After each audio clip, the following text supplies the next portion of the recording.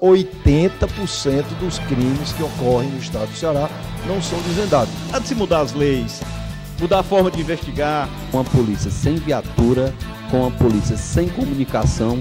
Falar é muito fácil, fazer que é difícil. Acreditei que nós teríamos aqui, francamente, os dados dessa rebelião. A orientação que foi dada pelo comando de greve.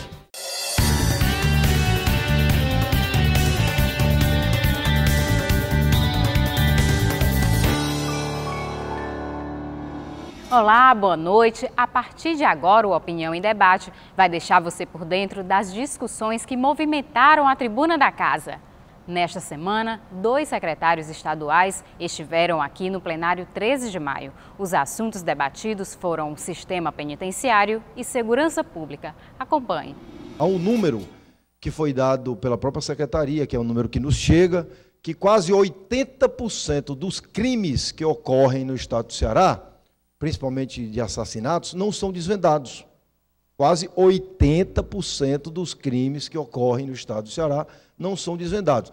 Então, eu, eu faço essas perguntas diante do, do pequeno pronunciamento que Vossa Senhoria fez, mas que eu notei que houve um pronunciamento sobre algo que foi feito, mas aquilo que é mais importante para nós é a forma que nós vamos resolver os problemas, que não foi dado por parte da Secretaria de Segurança Pública, principalmente em relação à criminalidade no interior, que tem aumentado. A Secretaria tem mostrado números que outras entidades têm mostrado também números diferentes, principalmente em relação ao número de homicídios. Será que existe varia de condão para fazer mais do pouco que tem?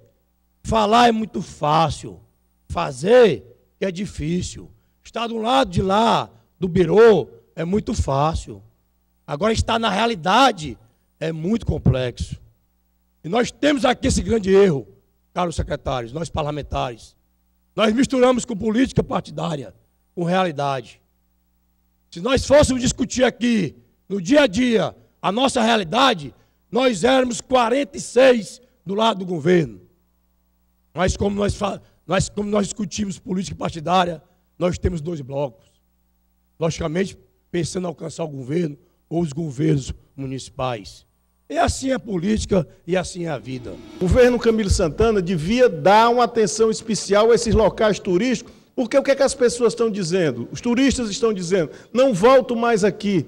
Um trauma desse, você, você vem para um estrangeiro que vem, um, um, um, um, um, turista do sudeste do Brasil, do, do nordeste mesmo, que vem e que sofre um, um assalto desse, a mão armada, uma violência, um estupro, ele nunca mais volta e vai sair fazendo uma, uma propaganda muito negativa. O crime organizado, ele está infiltrado em todas as instâncias dos aparelhos de Estado, subornando o policial, subornando o agente penitenciário, para criar oportunidades para que eles possam fugir ou se vingar dos outros, está em todo canto, dentro do judiciário.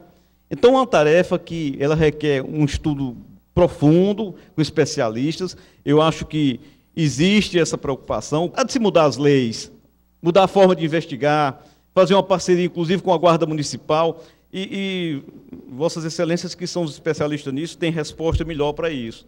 Então, eu acredito nessa equipe, quero reafirmar isso. Eu não acredito, secretário Delci, que a gente possa ter uma resposta com a polícia sem viatura, com a polícia sem comunicação, com a polícia sem combustível.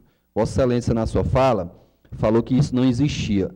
Como Vossa Excelência falou que acredita na polícia cearense, policiais estão a todo momento mandando mensagem aqui para o meu celular dizendo: Capitão, aqui no Iguatu tem oito viaturas paradas na oficina Canteiros, sem previsão de ser consertada para ir para as ruas. Capitão, Aqui no Paracuru, há um mês, só tem uma viatura para tomar de conta da segurança da cidade toda. Capitão, aqui na oitava C do primeiro BPM, aqui no Parque Dois Irmãos, são 13 viaturas e só tem três viaturas que estão rodando. O governo do Estado do Ceará, por intermédio da Vossa Excelência, tem feito muito, mas muito mesmo, para tentar diminuir a criminalidade, para apoiar o papel da Polícia Militar, da Polícia Civil, do Corpo de Bombeiro e que ultimamente, nessa casa também, houve de fato já debate, onde a gente já percebe que hoje a população da nossa capital, da região metropolitana e do interior do estado já se sente mais seguro.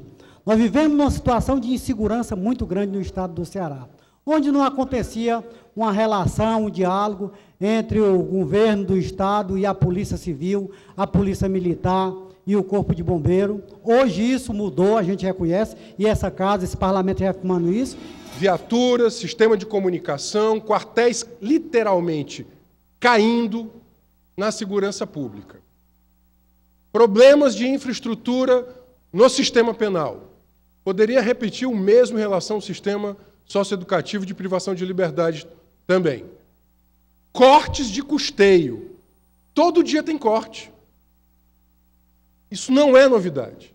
Portanto, o debate a ser feito ele deve incluir, sobretudo, as opções que Sua Excelência o Governador do Estado faz na gestão do orçamento que tem à frente. Vossa Senhoria, nem o governador Camilo Santana nunca comemoraram os resultados, mas sim, mas sim publicizaram e sempre, e sempre dizem que querem, estão trabalhando para que melhorem cada vez mais esses resultados. E não é à toa que nos últimos 17 meses, o Estado do Ceará tem conseguido, através do trabalho da, da, da, Polícia Militar, através do comando, não só o comando, capitaneado pelo comando, mas toda a tropa, através do, do, de Vossa Senhoria, secretário Delci, e também com todos os seus servidores, tem obtido resultados que não, nós não comemoramos, mas que fazem com que nós tenhamos uma perspectiva que nós estamos no caminho certo. No próximo bloco, você acompanha os debates sobre o sistema penitenciário. Voltamos já.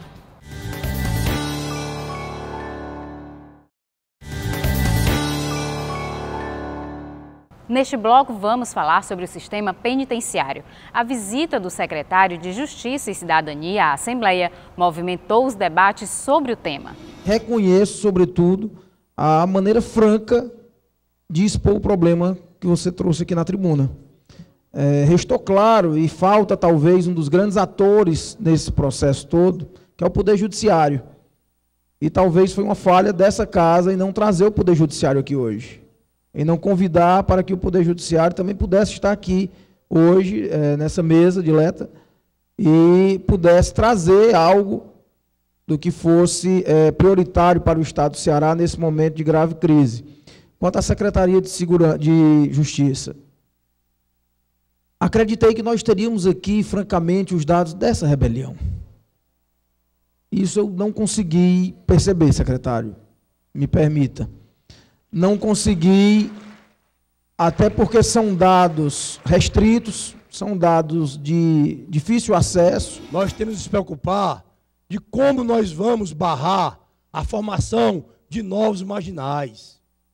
Isso que é a preocupação que nós devemos ter na área social, na educação, na cultura, no esporte e no lazer, colocar os nossos, nossos, nossas crianças, nossos jovens ocupados dioturnamente para não enveredarem no rumo das drogas e serem mais um que vão precisar de um presídio. Seja mais um que vai fazer homicídios. E se a gente pegar o dia, pouco dinheiro que nós temos, colocar só em cadeia, em policial de repressão, nós não vamos alcançar nada. Porque nós vamos estar percorrendo apenas atrás do que nós criamos, os monstros. Nessa falência, senhores secretários, com todo o respeito que tenho ao Hélio, ao doutor Delcídio, nessa falência, vou fazer um pedido muito singelo. É muita fraqueza de alguém que no seu fracasso busca culpados. O sistema prisional do Estado do Ceará não está fracassado por conta dos agentes prisionais, que é, guarda a relação desumana de um para 281 presos, quando a Organização Internacional do Trabalho diz que deva ser um para cinco. Nos momentos de maior tensão política e de disputas políticas, os presídios são mais agitados. Quando a sociedade também está na crise econômica, na crise financeira, com desemprego, os presídios estão mais lotados, há mais violência e, consequentemente, mais instabilidade também dentro dos presídios. Nós vivemos um momento de dificuldade econômica e ninguém, todo mundo sabe disso. Eu, ao contrário do que foi dito aqui, eu acredito na equipe que está colocada, acredito no governador Camilo Santana. Ele é sim um governador corajoso, ao contrário do que foi dito aqui por vários anteriores, oradores que um deles só chegou a repetir sete vezes: o governador não tem coragem, falta coragem, e isso não é dessa forma. O governador vai para cima dos problemas, a equipe vai para cima dos problemas. A violência nas nossas casas bate as portas todos os dias. O aumento é visível e os números não são compatíveis com o que aqui traz Vossa Excelência.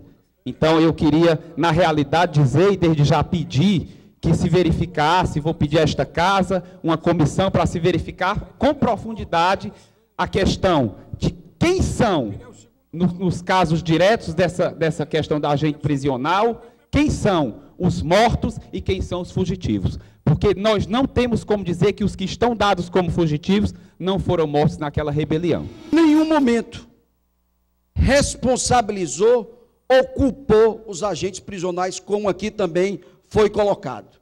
Mas sim, mas sim, a orientação que foi dada pelo comando de greve. Isso sim é de, é, é, foi repudiado. Que foi desastroso, foi irresponsável. E ocasionou em 18 mortes. 18 vidas que foram ceifadas por uma orientação irresponsável, desastrosa. Desastrosa, que a sociedade cearense tem que ter conhecimento. E não é à toa que o Ministério Público, inclusive, pediu a prisão do presidente do sindicato. No caso do sistema penal, a crise era por demais anunciada.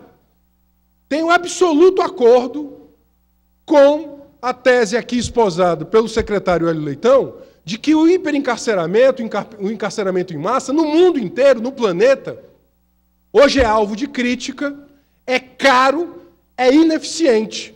Sem dúvida alguma. Sei que não é uma tarefa fácil, sei que não é um problema que pode, possa ser resolvido do dia para a noite, da noite para o dia, nem a curto nem a médio prazo. Mas tenho visto boas iniciativas, a, a, o seu empenho na participação dos presos no Enem prisional, o que tem elevado a autoestima, não só do preso, mas também da família. Tenho acompanhado o seu esforço, junto com a presidenta do Tribunal de Justiça, para avanço da, do mutirão de, de audiências carcerárias, tenham acompanhado as, o avanço das audiências de custódia, medidas essas que vêm diminuindo o excedente carcerário, venham acompanhando também o seu esforço para que, dentro das próprias unidades prisionais, tenhamos empresas instaladas, como com a parceria com, os, com o, o Sindipam, com a parceria com empresas do ramo de confecção e cosméticos, para que os presos tenham oportunidade de trabalho.